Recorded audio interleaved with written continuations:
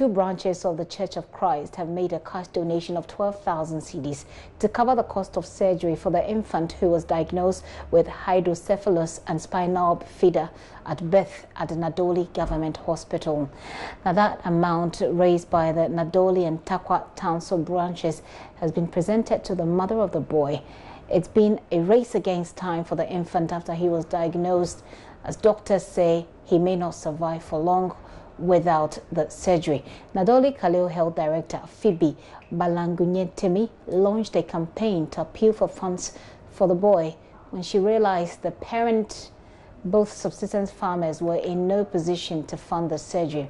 She says they will immediately start the process to prepare him for the medical procedure.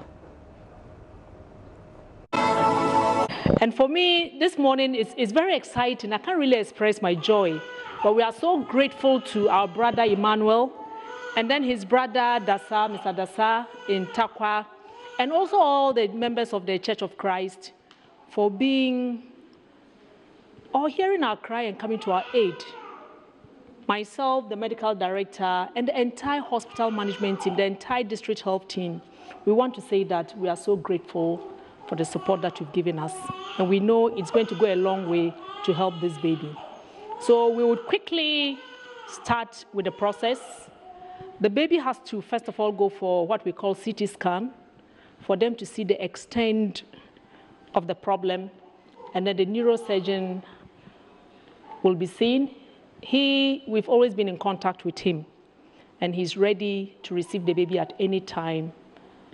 And we know that something positive will come out of it certainly something positive we all expect. Emmanuel Kunsang of the Nadowli branch of the Church of Christ presented the money to the mother of the infant who was very grateful. Actually motivated by uh, love for humanity, uh, we really want to see this baby do well. One will never know what he's going to be in the future. And, and I think that is the main issue. Uh, we came up to make a presentation of 12,000 to our little brother. And uh, I'm also grateful to Joy News for bringing it up. Had it not been Joy News, probably would not have gotten the information. And also to the timely intervention of the hospital. If they have not detained the child and allowed the child to go home, probably the story would have been different. So we thank Almighty God and we thank Joy News, we thank the hospital staff for bringing this issue, issue up.